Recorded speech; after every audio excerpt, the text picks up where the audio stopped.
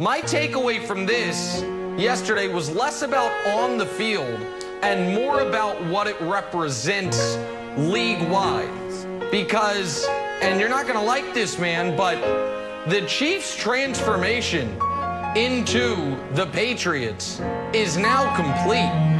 When Le'Veon Bell got released, I was like, oh, we know how this is going to end. He's going to sign with the Patriots for nothing. The rich get richer. And then I was like, hold on a second. That's the Chiefs now.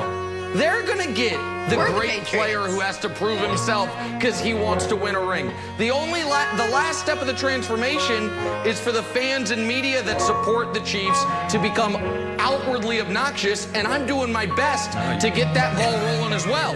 So I so I like the Chiefs transformation from the previous dynasty to the new dynasty Wilds. I think this Le'Veon Bell uh, edition might be the final piece of it.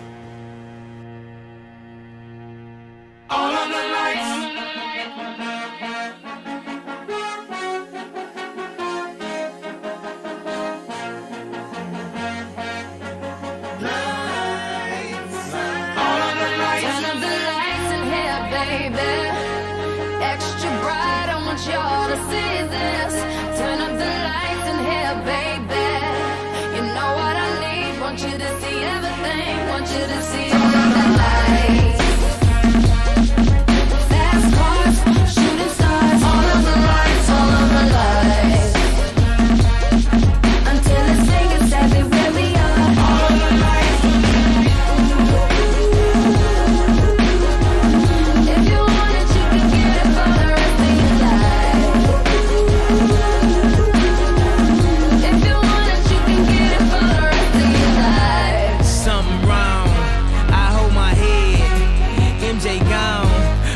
I, dead. I slapped my girl.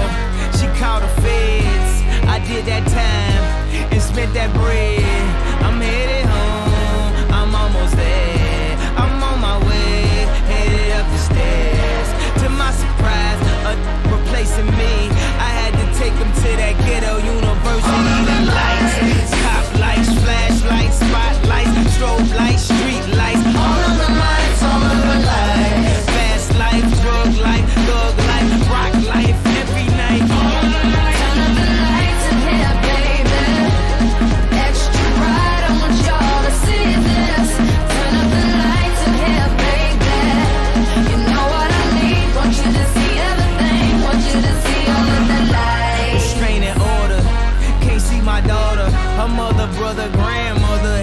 In that order. Public visitation. We met at borders. Told her she'd take me back. I'll be more supportive. I made mistakes. I bumped my head. And court sucked me dry. I spent that bread. She need a daddy. Baby, please, can't let her grow up in that ghetto university. All The lights, top lights, flashlights, spotlights,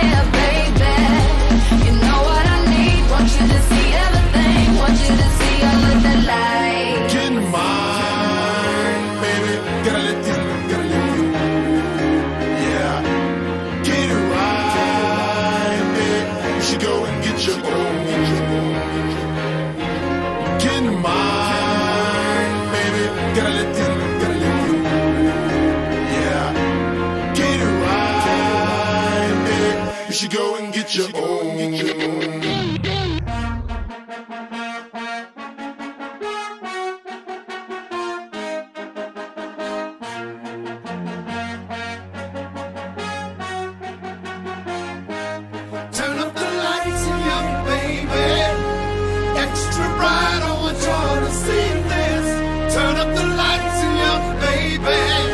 You know I need. Want you to see everything. Want you to see all of the lights.